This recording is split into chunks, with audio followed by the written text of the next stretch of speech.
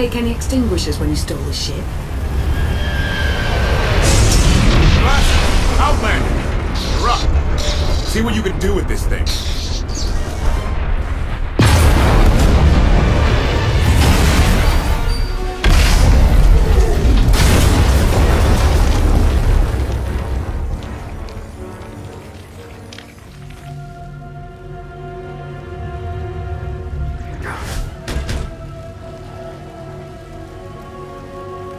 That's two more shuttles you owe me. You didn't even own this one. It really shouldn't count.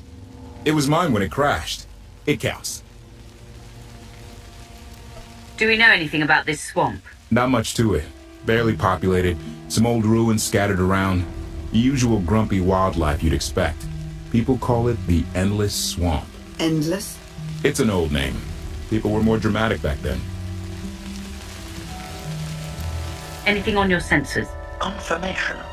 I have detected a large metallic object nearby. Analysis suggests a technological construct, but there are no energy readings. Whatever it is, it's got better chances of flying than this thing. Engine's fried to a crisp. Sky troopers won't be far behind us. We need to hide the evidence of our landing. I'll scavenge you, Barry. Just like Aaron Prime. I get the sense you two have been working together for a while. Long enough. I know you have more questions than answers, but we should really keep moving.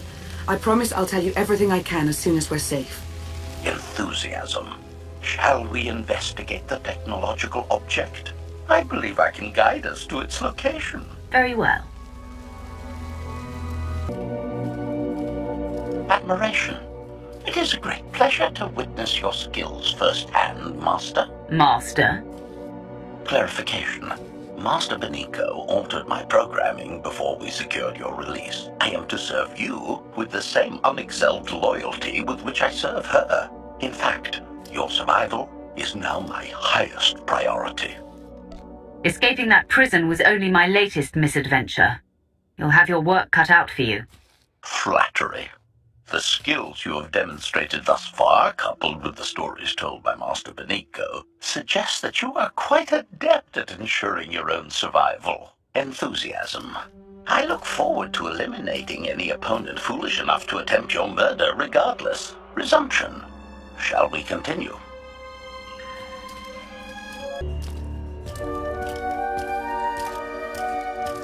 Is this the object you picked up on your sensors? Confirmation. Yes, Master. A closer scan suggests that this object has been here for several centuries.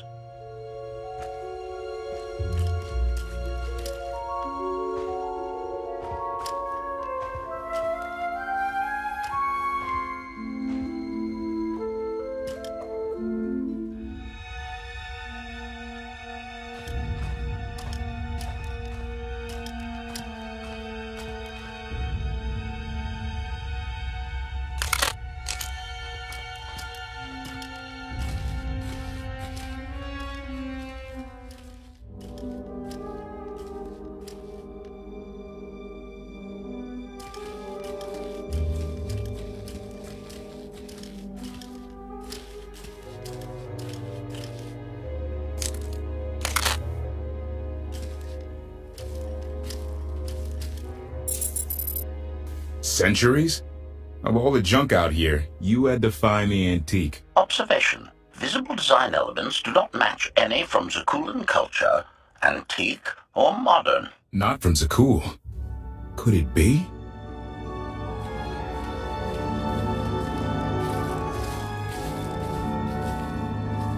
He doesn't overthink things.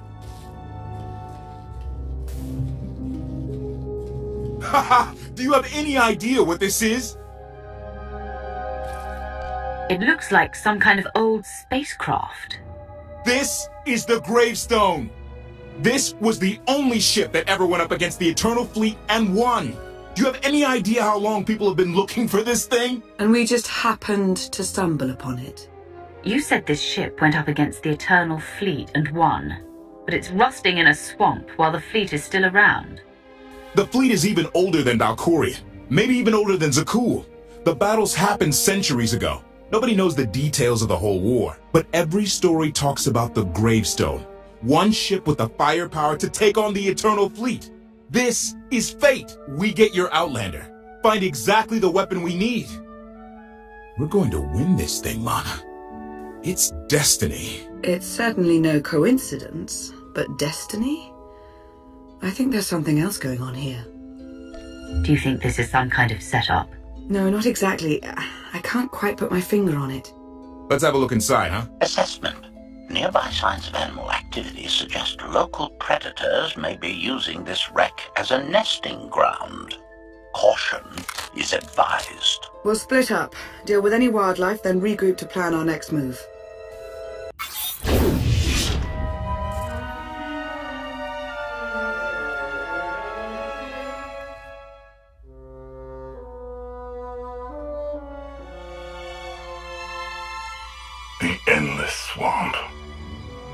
Damage you inflicted, they couldn't have made a safe landing anywhere else. And if they didn't make a safe landing? We'll know soon enough. Sky Troopers, sweep the area. Focus on regions with high metallic sensor readings.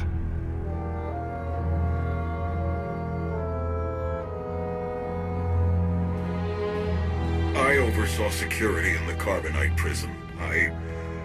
I humbly submit myself to answer for this failure.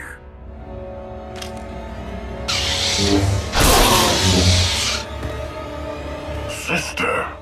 I didn't like his answer.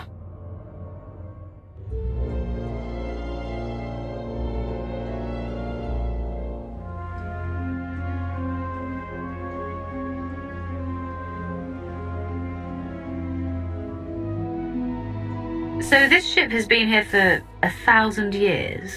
More? Right. It's amazing that it's in such good condition, considering. Judging by the damage I've seen, the stories are true. Whoever built the gravestone scuttled it themselves after the Eternal Fleet was defeated. It wasn't shot down. The fleet was defeated but not destroyed.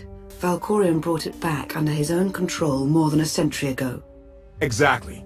The Eternal Fleet is totally automated.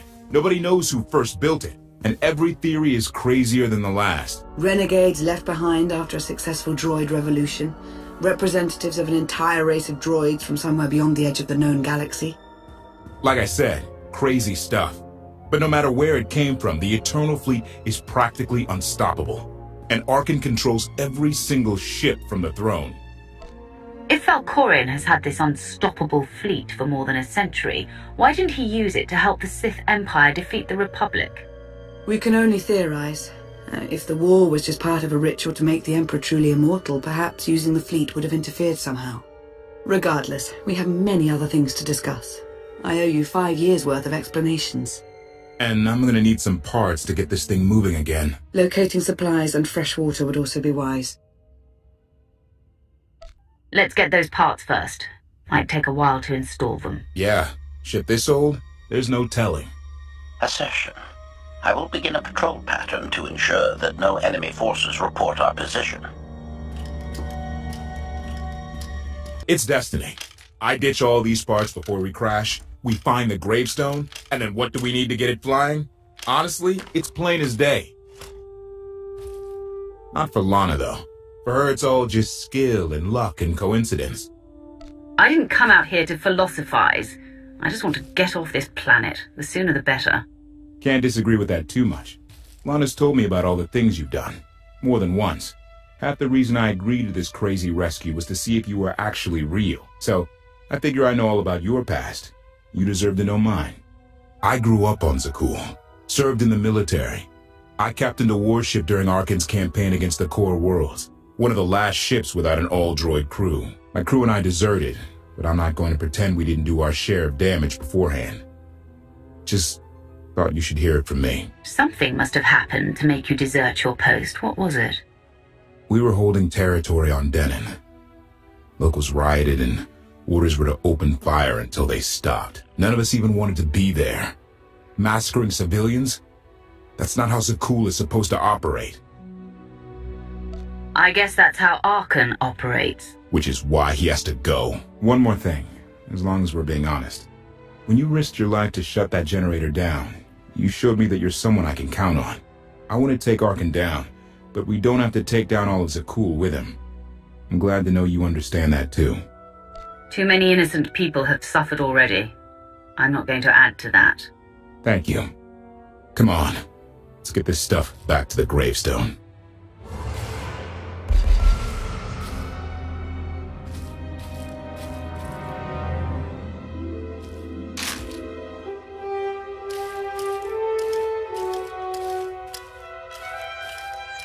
Salutation. It is a pleasure to see you again so soon, Masters. I've encountered minimal resistance in my patrol. Minimal? Reassurance. Only one Skytrooper and three local predators with poor survival instincts. Our position appears to be secure at this time, but I would still advise caution on your return trip, Masters. Keep up the good work, HK. Appreciation. It will be my pleasure to do so, Master.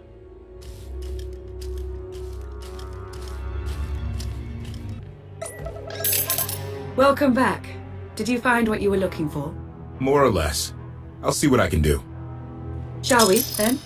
We won't last long without more food and water. Let's go.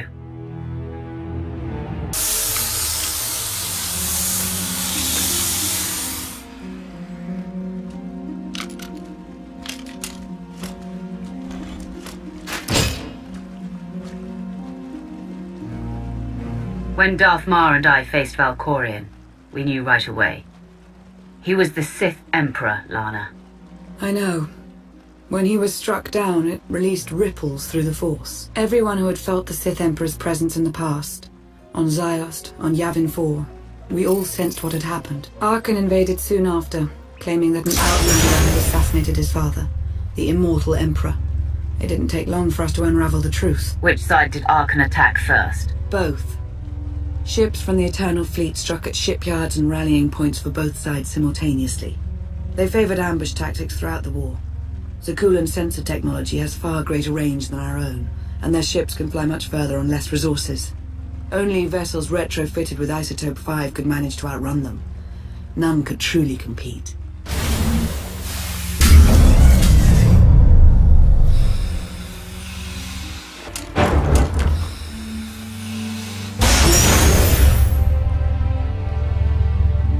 Did the Republic and the Empire manage to hold out?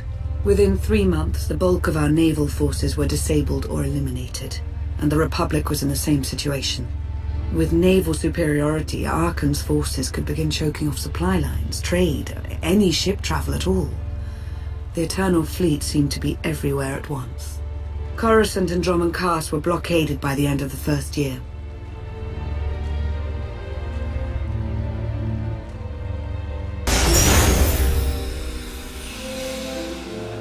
How did it end? The members of the Dark Council fought Arcann's invasion ruthlessly and lost. The Empire's treaty was ultimately negotiated by the Minister of Logistics. Chancellor Saresh also refused to discuss surrender, but the Republic Senate managed to overrule her. A cadre of senators negotiated their own ceasefire terms. All of those senators have since been disgraced or dismissed. I'm sure you can imagine the likely culprit. So far, the treaties with Zakuul have held, but that will not last forever.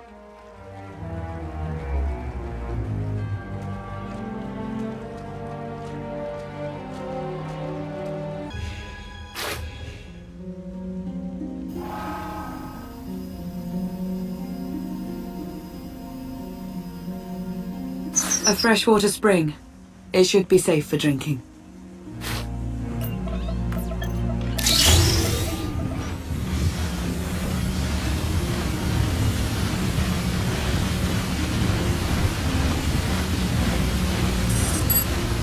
So the Eternal Fleet overwhelmed both the Republic and the Empire.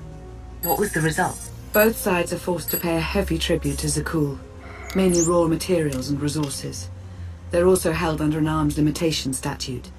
The Empire and the Republic are both breaking it, of course, but they're still incapable of challenging the throne directly. Who rules the Empire now? Darth Acina was the only Dark Council member left standing. All others died or disappeared in the chaos. Without opposition, she declared herself Empress of the Sith. And the Republic? Saresh remains in power, though she no longer holds the title of Chancellor. The Republic has limits to their ruler's terms, but her replacement is a mere puppet. Both sides see this only as an opportunity to eliminate one another at a time of weakness. instead of combining what strength they have.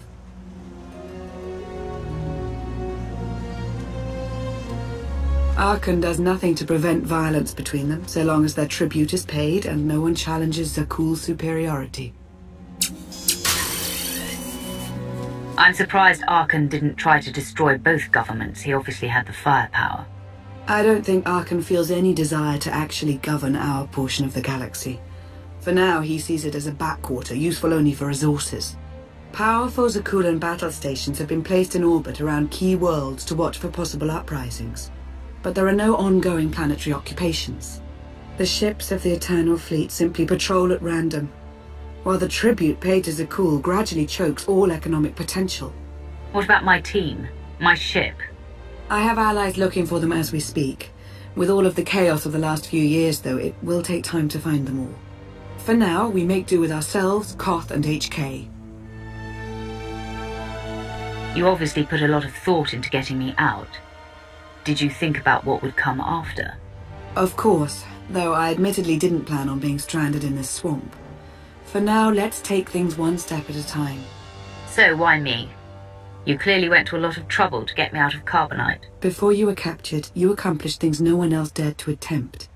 You changed the galaxy more than once, and if things have ever needed to change, now is the time.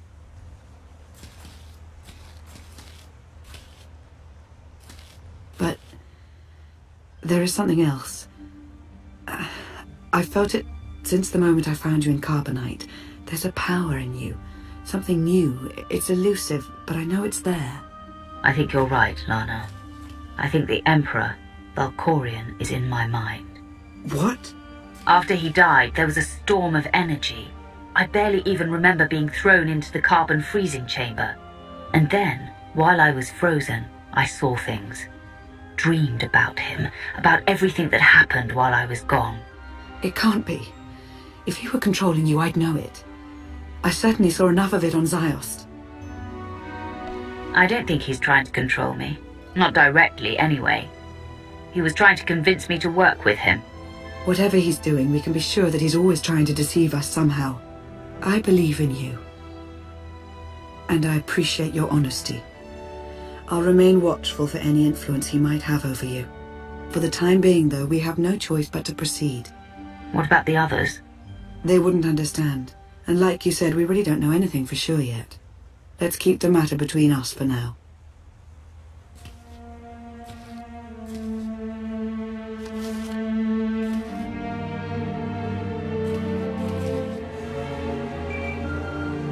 Request. Please rendezvous at my current coordinates at your earliest convenience, Masters. I require assistance. Strange. We should hurry.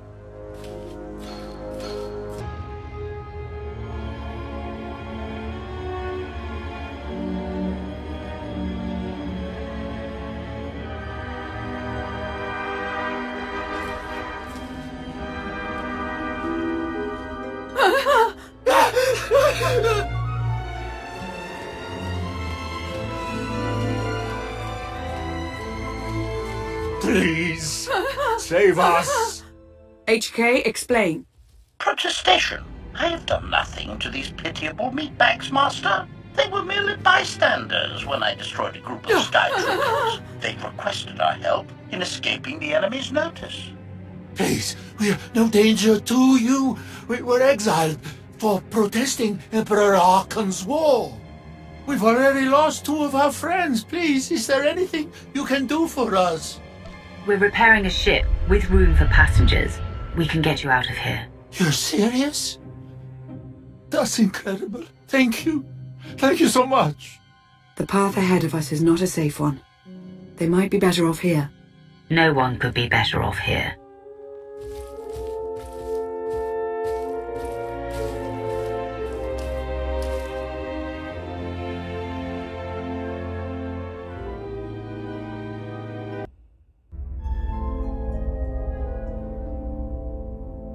You're sure we can make it fly again? She'll fly. Just been waiting for somebody to come along and remind her how. Let's get to work then.